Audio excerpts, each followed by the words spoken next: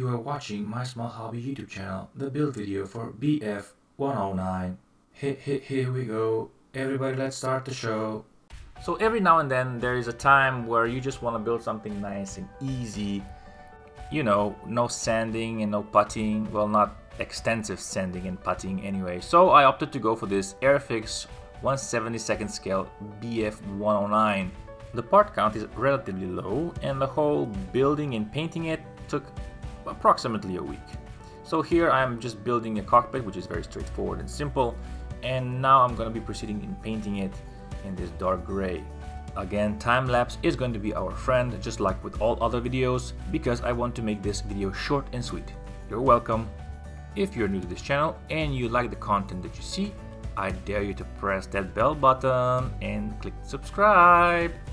In this video, I will be using mainly Tamiya and real colors from AK Interactive. It's my first time using them and I'm really happy that I did because they're awesome.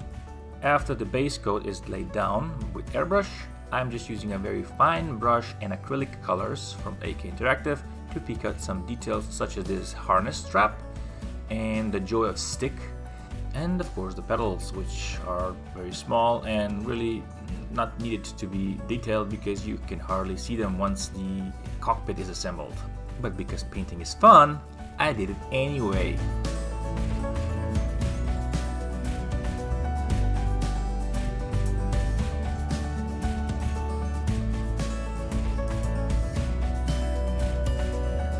Here I'm doing the dry brush technique. A dry brush technique is a technique where you dip the brush into paint, then wipe off all the excess paint until it's almost dry, hence the dry brush, and then just go slightly over the surfaces to enhance their detail.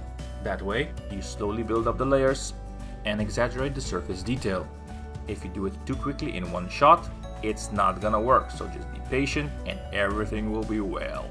Everything will be well. Everything will be well. Yeah. Anyway, I use the same technique on the inner surfaces of the cockpit area to make a more worn effect.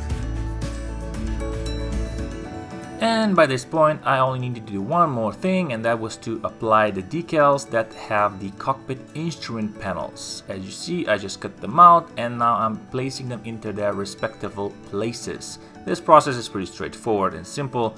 All you just need to do is be very careful, put some decal solution on it and wipe the excess off. The last thing to put in the cockpit is this, I would call it heads-up display, uh, which uh, incorporates the crosshairs for the pilots to fire at the nasty allies.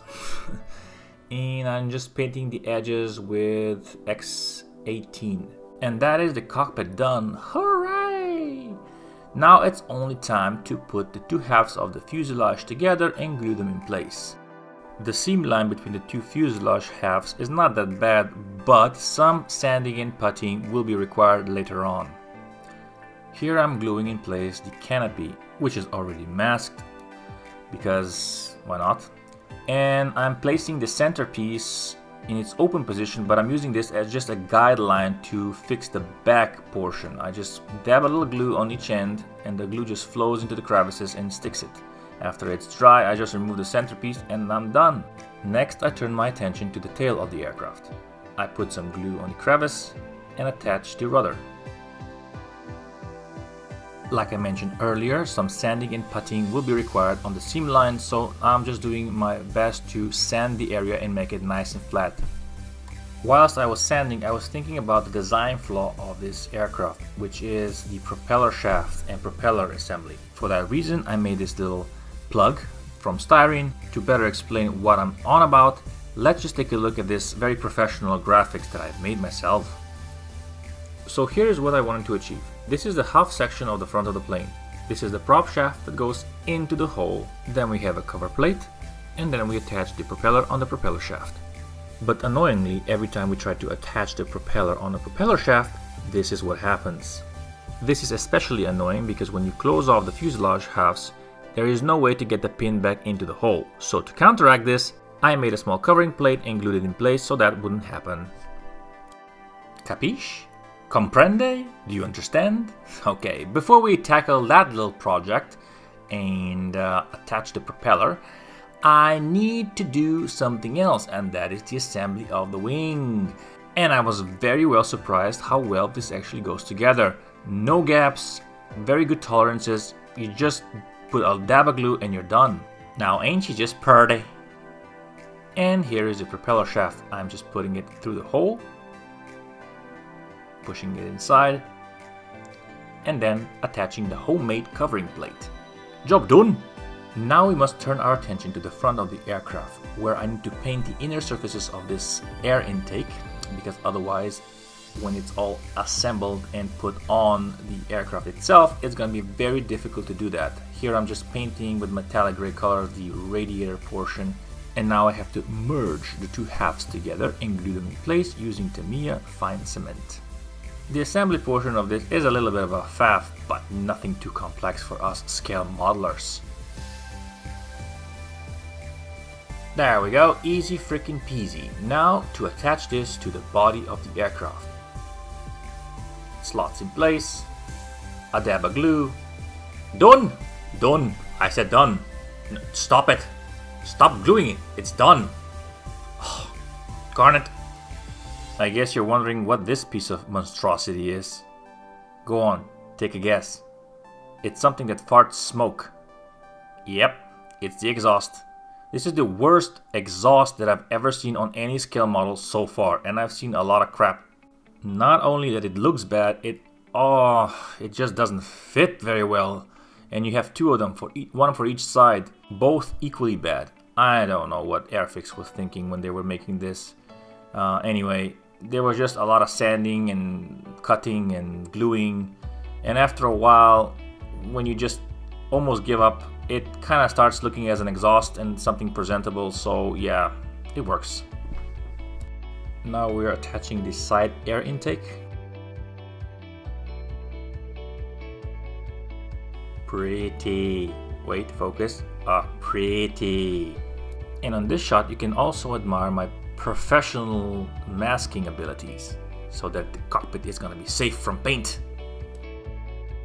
Now to tackle the seam lines. I masked the two halves of the fuselage separately, on on each side, and I would do this to the entire length of the aircraft, up and bottom. And afterwards I will squirt a little bit of uh, Tamiya putty in between. Then wait about 3 minutes and remove the masking tape, thus revealing the puttied portion of the seam line. Then I let it dry for about 4 hours and uh, proceeded to sand the seam lines to its perfectional smoothness as you will see in the following video footage. One thing to note here is that you have to take your time with this. If you go too fast and take a too coarse sanding stick, you will do more harm than good. Also take note that you will have to rescribe the lines because the sanding just takes them out, as shown here. The easiest way to rescribe the line is to put masking tape right on the edge where the line should be and then use a little fine saw to cut into the plastic. Be very careful and graduate with this process. You don't want to cut into the fuselage, just make sure that you're deep enough to make a groove. You repeat this step for all the panel lines wherever possible and uh, after that if you have some dental tools um, use those to kind of finish out the surface detail like you see me doing here. When you're rescribing panel lines, inevitably there's going to be a buildup of material inside the newly created grooves. Also, some edges might be a little bit too sharp. So what you can do this is you can lightly sand the surface and then use a little bit of cement to smooth out the surface and melt the dust that's accumulated inside. And if all goes to plan, you should be ending with a model looking something like this. Not too shabby. Using my professional video making skills, I will show you the attachment of the horizontal stabilizers. Yeah. Out of focus and in frame. Perfect every time. Anyway, now I have to attach these uh, support struts and these are very delicate. I managed to break one in half whilst holding them in my tweezers. Yeah, and this one was the one that broke, so I fixed it together and put it in place. Again, professional video making. in focus, in frame, perfect. I chose to build this model for two reasons, one of which you are seeing right now. The flaps can be represented in their up or down position, which I think is really cool, and also the canopy can be uh, displayed in the closed or open position, and the landing gear can be up or down. So if you have one of those display stands, you can just plop it there and it will be just fine.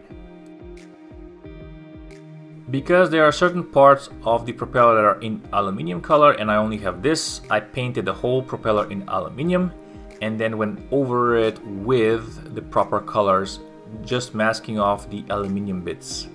This is the nose section of the propeller, which I mixed the paint myself. I didn't have um, German RLM yellow, so I just mixed yellow and clear orange from Tamiya and just kind of made my own paint, which was fun. And here I'm painting the two uh, propeller pieces. Now we come to the good part. We are using AK Interactive's real colors and painting the propeller in its proper colors.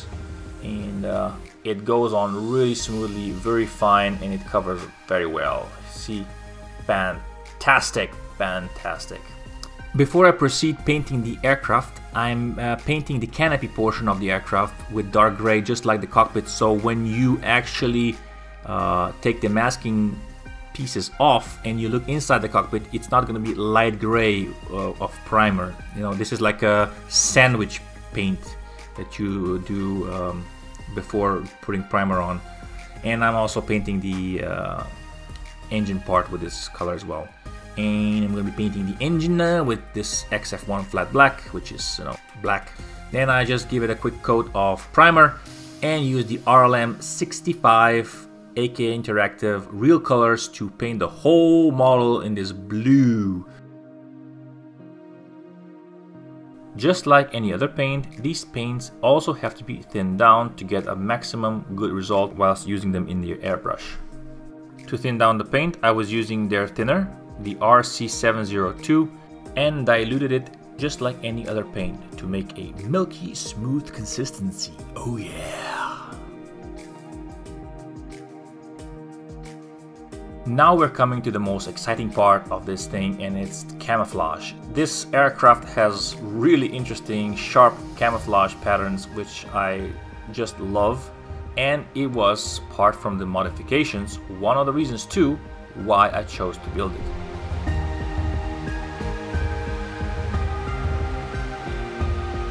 Again, I didn't show the masking portion of the video because that is just boring and uh, it takes a long time to do a proper masking job. Just make sure you really do a proper masking job because if you skip out on this, you're gonna have a bad day when it comes to uh, camouflage. When you take the masking tape off, you're supposed to have a very smooth and sharp transition between the two colors. Uh, no spillage or you know unnecessary splatter of anywhere. Sometimes I forget this and I just kind of rush through this process, but if you really do a good job, then um, the results are fantastic.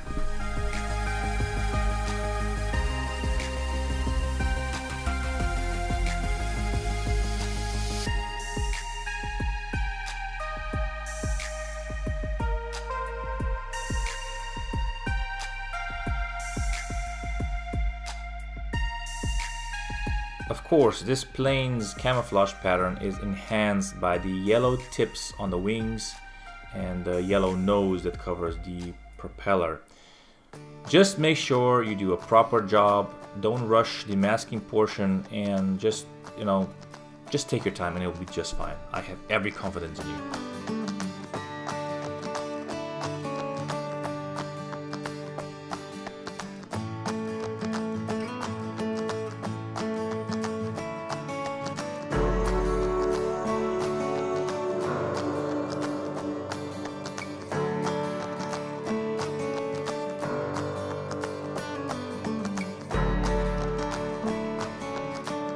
Course all this masking means that you have to take it off again once it's painted, but the end result is just fantastic.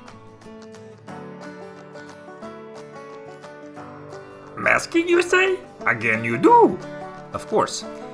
Uh, this plane has a little bit of a mottling effect on the side, so I had to mask off the areas that I do not wish to be sprayed, of course, as one does, and then proceeded to do uh, makeshift mottling, which went well. Yeah, totally. And I certainly didn't build two identical planes. No, no, this is one plane. I would never do that. I mean, come on, who does that? I mean, you have to be crazy to build two identical planes just to make yourself look good on a video. I mean, how pathetic is that? We will not comment that at all. Rubber, you say? I paint, I do. Yeah, some of the things I do by hand, like this little back wheel, um, it's no point in painting it with an airbrush. You know, an old-fashioned brush will do. For the main landing gear, the story was the same. I airbrushed the wheels and painted the tires.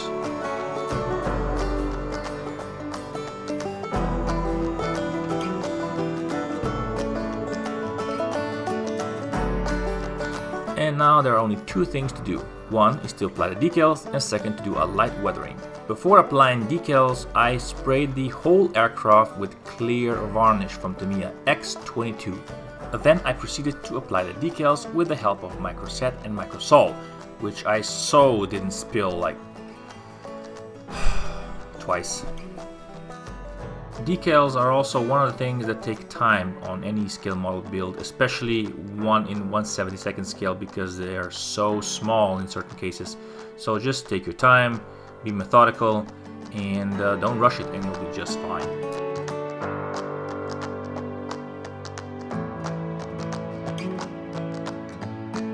You know, sometimes poking the decals does work. Honest to God. But um, when it doesn't, you need to use your tweezers. There you go. Oh, isn't it lovely?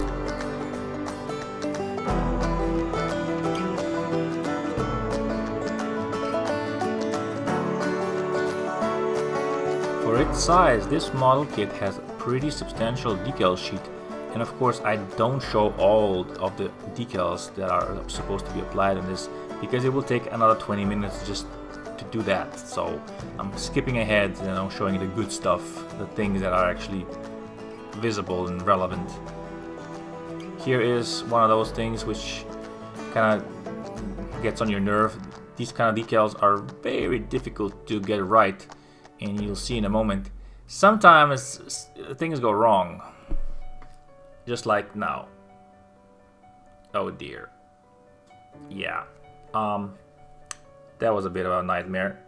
But, you know, with some persuasion and patience, I did manage to uh, make it work. Yay. Here's an interesting one, a decal that goes on a decal. That was um, a little bit fiddly too, because you see I have a little drop of decal solution that is floating the decal around, and as soon as I attach the cotton bud on one end, it sucks the moisture away and it, the decal moves. So it's a very fiddly process making sure that the decal is placed centrally on the little circle there.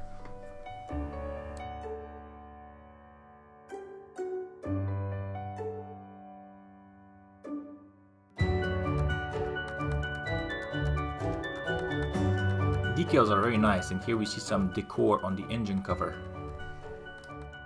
And the very last thing is the weathering, which is done by the poor man's version, which is this pastels.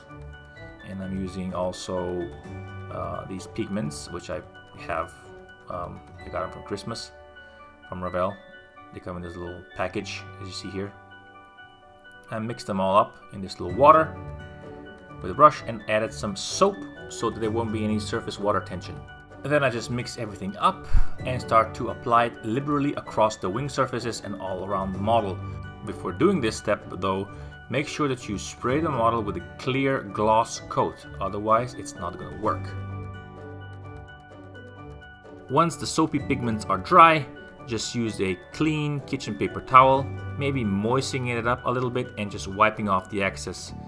In this way you're removing the paint from the surface and leaving it in the panel lines. And so we come to the end of this video. Thank you so very much for watching if you have been. Thank you for liking, sharing, commenting and subscribing. And I'll see you again soon in another one. For now, enjoy the finished product. Bye bye. Auf Wiedersehen.